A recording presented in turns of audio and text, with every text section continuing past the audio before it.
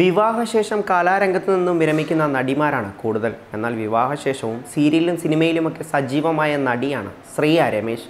ജനപ്രീതി നേടിയ ടെലിവിഷൻ സീരിയലുകളിലൂടെയും സിനിമകളിലുമായി ശ്രീയ പ്രേക്ഷക ശ്രദ്ധ പിടിച്ചുപറ്റിയിരുന്നു. മോഹൻലാലിനൊപ്പമുള്ള എന്നും എപ്പോഴും സിനിമയിലൂടെ അഭിനയ രംഗത്തേക്ക് വന്ന താരത്തിന് ഇപ്പോൾ ഒടിയൻ മുതൽ കൈനിറയെ സിനിമകളാണ്. കലാപാരമ്പര്യമില്ലാത്ത കുടുംബത്തിൽ നിന്ന് സിനിമയോളം വളർന്ന കഥയാണ് ശ്രീയയുടേത് മാവേലിക്കര സ്വദേശി ശ്രീയ വിവാഹത്തോടെ പ്രവാസിയായി. അതുവരെ അഭിനയമോഹങ്ങൾ ഇല്ലായിരുന്ന ശ്രീയ വിവാഹശേഷം ഭർത്താവാണ് അഭിനയ രംഗത്തേക്ക് കടക്കാൻ പ്രേരിപ്പിച്ചത്. സീരിയലിലായിരുന്നു തുടക്കമെങ്കിലും ഇപ്പോൾ സിനിമയിലും താരം സജീവമാണ്. ലൂസിഫർ ഒടിയൻ പവിയേട്ടന്റെ മധുരച്ചൂരൽ തുടങ്ങി ഒരുപിടി വൻ സിനിമകളുടെ ഭാഗമാണിപ്പോൾ താരം. കന്നഡയിലും തമിഴിലും ഉൾപ്പെടെ കൈനിറയെ അവസരങ്ങളും താരത്തെ തേടിയെത്തി.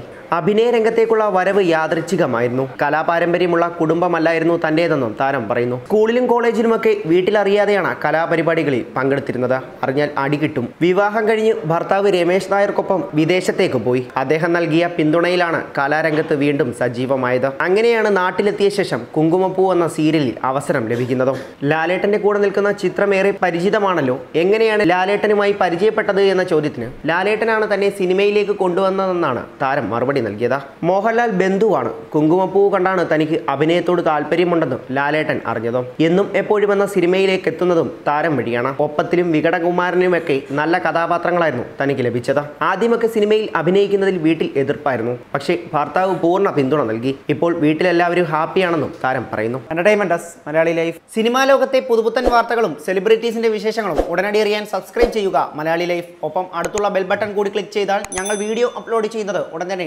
നോട്ടിഫിക്കേഷനും ലഭിക്കും.